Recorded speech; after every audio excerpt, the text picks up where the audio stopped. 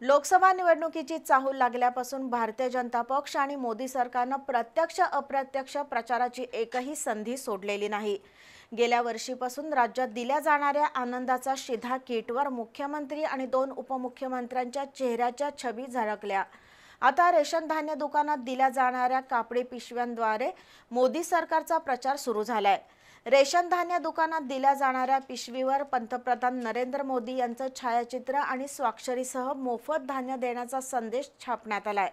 या पिशवीच्या माध्यमातून आता हर घर मोदी ही घोषणा जणू प्रत्यक्षात आणली जाते प्रधानमंत्री गरीब कल्याण योजनेअंतर्गत प्रत्येक रेशन कार्ड धारकाला दहा किलो वजन क्षमतेची डी कट लॅमिनेटेड पिशवी दिली जाते अंत्योदय आणि प्राधान्य गटातील रेशन कार्ड धारकांना या पिशव्या वितरित करण्यात आल्या आहेत.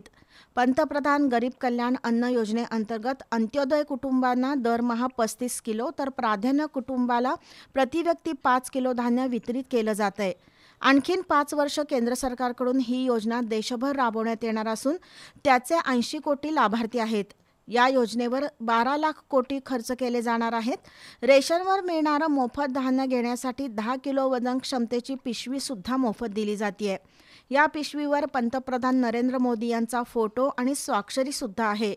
देशातील एकही नागरिक उपाशी राहू नये यासाठी ही योजना असल्याचं पिशवीवर छापलं असून एक प्रकारे या पिशवीच्या माध्यमातून हर घर मोदी ही घोषणा प्रत्यक्ष अंमलात येते